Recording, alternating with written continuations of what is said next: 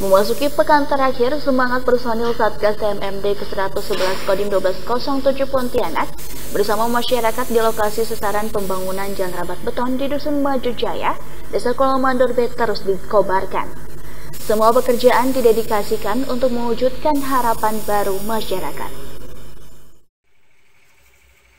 Inilah kinerja dan perjuangan Satgas TMMD ke-111 Kodim 1207 Pontianak bersama masyarakat yang terus mengenjot penyelesaian pembangunan jalan rapat beton sepanjang 1100 meter di lokasi sasaran TMMD ke-111. Kekompakan dan solidaritas antara Satgas TMMD ke-111 dan masyarakat terus digelorakan untuk mempersembahkan hasil pembangunan terbaik bagi masyarakat Kuala Mandor B.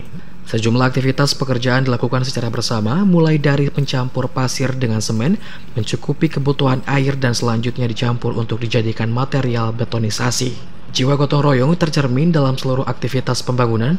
Semua tahapan dilakukan dengan penuh perhitungan dan kehati-hatian agar bangunan jalan nantinya dapat berfungsi dengan maksimal. Maksud dan tujuan Satgas TMMD ke-111 adalah menunjukkan bahwa TNI dengan penuh ikhlas dan kerelaan untuk membantu dan meringankan beban dan masalah masyarakat setempat. Sebesar apa pun beban pekerjaan jika dilakukan dengan gotong royong, maka semua akan dapat diselesaikan dengan mudah. Saling dukung dan saling membantu untuk Kuala Mandorbe lebih baik. Pada pekan terakhir ini, seluruh pekerjaan fisik juga terus dimaksimalkan agar sebelum penutupan hasil pekerjaan sudah dapat dimanfaatkan oleh masyarakat di lokasi sasaran. Tim Liputan melaporkan.